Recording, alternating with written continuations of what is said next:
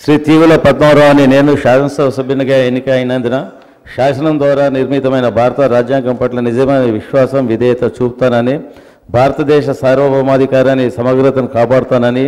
నేను స్వీకరించబోయే కర్తవ్యాన్ని శ్రద్ధాశక్తులతో నిర్వహిస్తానని